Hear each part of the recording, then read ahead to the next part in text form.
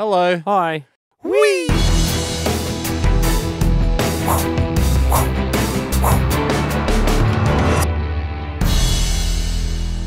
Here we go. This Here is we go. They're all in there now. Come on, come on, come on, try your hardest. 1920s pilot, Oh, the second it. best. That's good.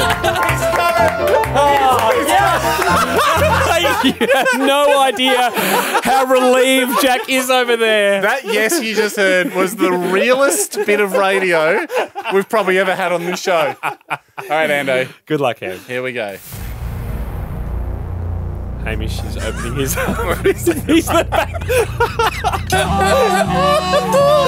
I'm the baggage handler. I'm happy handling two vital bits of baggage, both my sticks. Which it. makes me. Oh, Top Well Gun. done, Andy. How inappropriate.